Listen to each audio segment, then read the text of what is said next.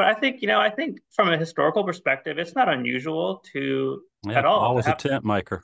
Yeah, it's not unusual to be a tent maker. You know, that's been the way of things for a long time. So I, I actually like it. I think I think both models are great. If you if God's called you to full time ministry, that's wonderful, you know. But if God's called you to be a tent maker, I think you can be a real asset to the church from that perspective as well. So it doesn't matter, you know, exactly what background or age. You know, I have a lot of background in construction. I literally do carpentry, you know, most of my days. But in the evenings, that doesn't stop me from doing serious theological work.